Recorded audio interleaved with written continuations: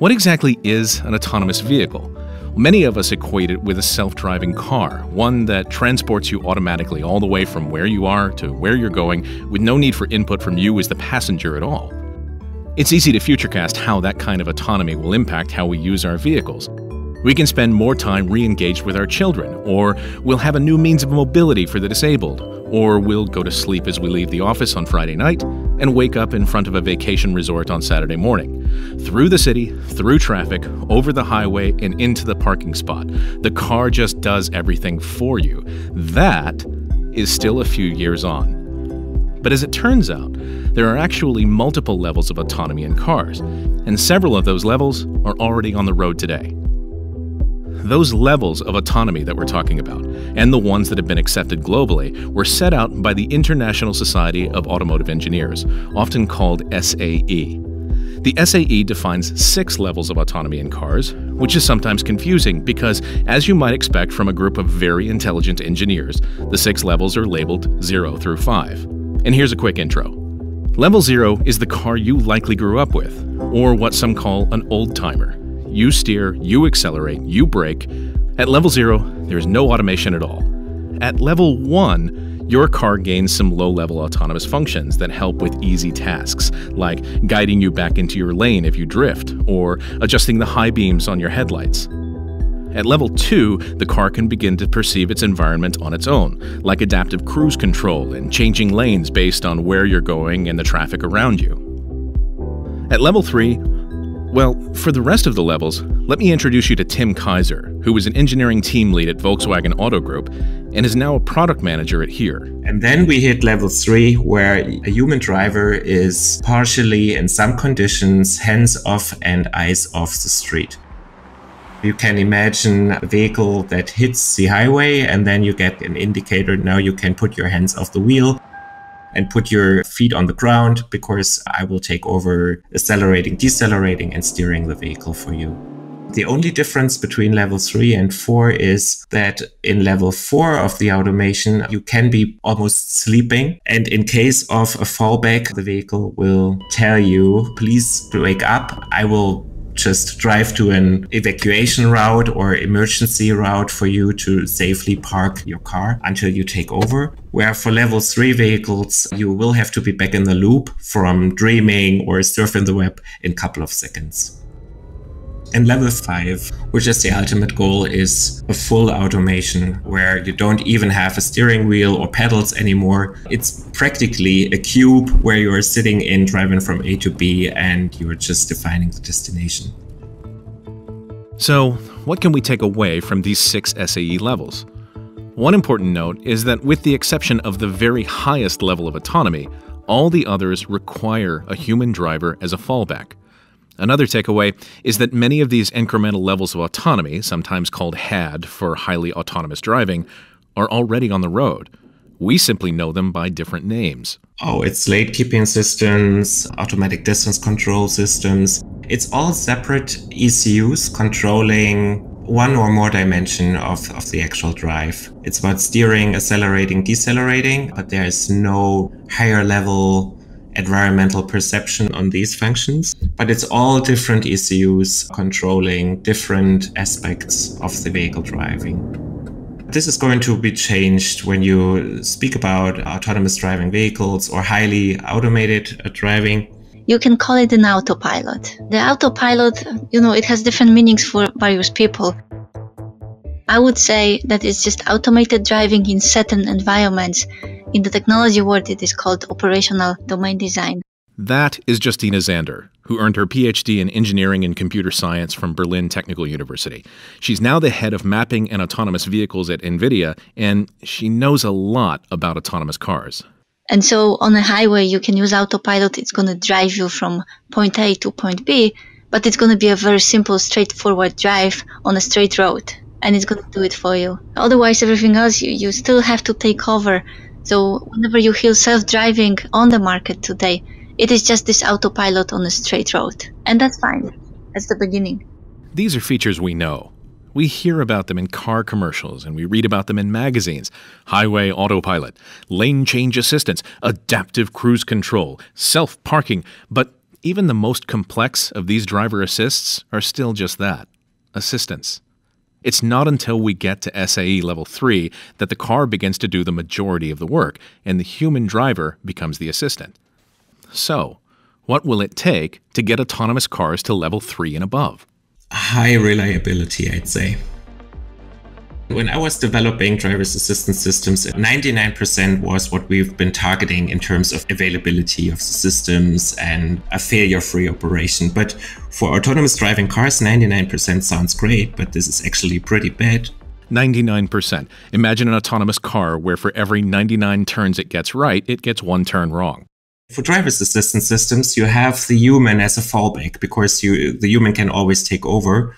But for an autonomous driving car, this is unacceptable. And this is what's the challenge in this whole automation is like. I like what Tim said about the fallback. I think the fallback is really the key term here because if you have a human as a fallback, it is still the traditional way of thinking of driving. Whereas if you have, have a machine as a fallback, it's an entirely different world. That different world the autonomous world above the 99% reliability mark means we have to put a lot more equipment in the car to interpret what the sensors are reporting. For example, a camera. It's a relatively simple sensor because it's the human that interprets all the visual data that the camera captures. For a computer to accurately and reliably interpret that data, we'll need bigger computers in the car. There are multiple technologies in the car that are responsible for helping you perform the deep learning properly. And this is where NVIDIA comes in and provides the hardware that is actually capable of computing all those sensor inputs at the same time. And you have multiple sensors. You have cameras, LiDARs, radars, GPUs, IMUs, and whatnot. And the whole thing is that you have to support redundancy and diversity. So you're going to have a lot of sensors that are going to cover for each other in case one of them fails. That makes sense. Lots of sensors, lots of computing power, and both working fast enough to interpret information and react in near real time. What does that mean for any car manufacturer working on an SAE Level 5 car? Or what does it mean for those out there that dream of owning their own autonomous car? This is tremendously expensive. If you're talking about level 3 capabilities, you're talking about couple thousand euros. If you're talking about fully autonomous driving cars, it's a hundred thousand and more euros for just these systems deployed to the cars. So I don't see level 5 uh, vehicles owned privately. I really see fleet operation for level 5 uh, vehicles because of the super expensive equipment you'll have to have. So Justyna was already mentioning it. It's about redundancy in the end of the day. You will have all these equipment at least twice in the car and one uh, unit is observing the other to make sure it's just correct. In case of a failure, it just jumps in and makes sure that the vehicle is driving safely from A to B. And this is an equipment you won't have in level 3 cars. There is a question to consider about computing power and it's this Where does that power need to live? In the case of autonomous cars, Justyna and Tim agree it has to be done on board the vehicle, but what if future network speeds could be so fast and widely available enough to move processing to a cloud computing solution? Well, as they informed me, I was moving a little too far into the future. I don't think so even if you don't have 5G available, you need to drive autonomous or at least highly automated. And limiting this functionality to the uh, mobile cellular coverage network is nothing which is acceptable from a customer standpoint. It's not only the customer, it's also the designer and the technologies behind it. We don't want to rely on unreliable technologies at all. You know, we as humans, we have difficulty relying on anyone. We want to be good at everything because we tend to hesitate when someone else is going to provide something that is critical for our living. There is still an element of computing, which Justyna explains, that has to live outside the car. And in a sense, investing in this kind of computing can save manufacturers a great deal of money down the road. Before you go to the car and deploy the whole technology on the production level, you actually have to test it. And testing means proper validation and verification methods. One of them is called simulation. Simulation takes about 50% of the production cost. You have to get it right in the data center before you put it in the car. So you basically simulate the car unit in the data center You simulate uh, the dynamic behavior of the car, but also all the deep learning algorithms that you implemented for the car to be able to drive in the autopilot or in the self driving mode. And only if this simulation proves to be correct, then you can go on the car and deploy this technology in the car. So, what does the future look like? If we look at a realistic timeline, what can we expect in the next 10 years? One thing we can be certain of more research and more testing. And of course, we'll begin to see more features and tests on the roads, which is a big issue for governments. What will the roads look like when they're populated with both human driven and machine driven cars? Exactly like they look like today.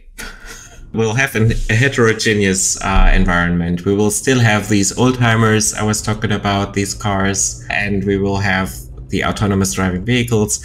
We will have them all on our roads, and I do not expect any autonomous driving specialized uh, traffic signs on the road because we, we never made these roads for machines, and I don't expect this going to, to be changed in the future. I think we're going to see autopilot mode cars a lot. I don't think we're going to see the self driving, the fully self driving cars on a typical road. And for the fully self-driving uh, capabilities, I think we're going to have geo-fenced uh, regions where these cars are driving, like on the campus. We already see it at the airport. You know, we see it in manufacturing uh, facilities. So we're going to see more and more. So it's going to come, but it's going to go slowly, uh, gradually, and for various regions.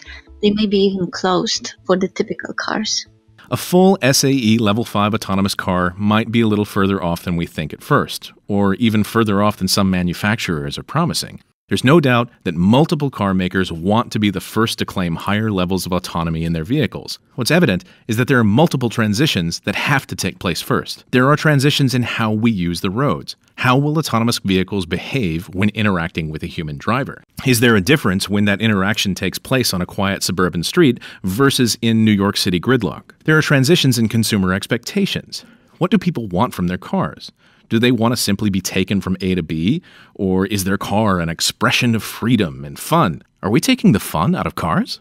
I wouldn't say that we are taking the fun away. We just replace it with something else. As I'm saying, for the next decades, we're still going to drive. So this fun is not going to go away. And uh, there will be times where you can switch between different modes, driving or not driving, fallback for humans or not. I know there are companies who claim they will never go self-driving just because they're sports cars and I'm actually curious how it is going to evolve for them because those same companies said we will never go electric and now they do. That's a good point. People don't necessarily know what they want, but for the moment, we can know what we look forward to. I asked Justyna and Tim what they were looking forward to. Tim is looking forward to seeing the technology that he's spent his career developing come to life. I was working in the automotive industry on like traditional sensors like radar, lidar, camera. And all these sensors perceive the environment for a very short range of sight. I decided to work for HERE because I figured out, even when I was at the OEM side, that maps could really improve the range of sight tremendously because the map doesn't have the limitation all these traditional sensors have. And I could see that uh, environmental perception and fusion could fuse map content to enhance the range of sight. And this is practically unlimited. And this is what is really inspiring me on a technological side. On a private level, I'm really amazed at some point in time to see an actual vehicle with the technology inside where I just tried to shape it to make it successful. And, and this is what's motivating me when I'm walking around the city. For Justyna, it's about building bigger simulations.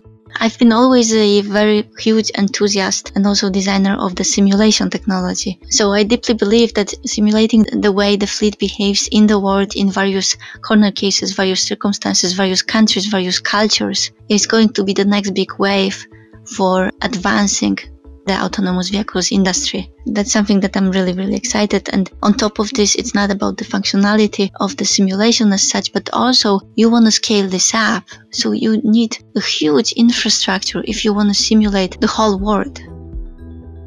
For the rest of us, we all likely have our own image of how cars will be part of our future. For some of us who like the thrill of driving, it might mean no autonomy at all. For those whom a car is simply a means of getting from A to B conveniently, we can expect that highly autonomous driving features will improve and make that experience as easy as possible. Personally, I would still love to get in my car on a Friday night and wake up at a B&B in Vermont on Saturday morning. We'd like to thank Justyna Zander of NVIDIA and Tim Kaiser of HERE for their time and insight into this subject. And thank you very much for listening to this episode of the HERE Technologies podcast. To learn more about autonomous vehicle technologies, artificial intelligence, fleet management, tracking, indoor maps, developer solutions, location intelligence, or any of the other things that HERE Technologies does, visit HERE.com. Thanks for listening.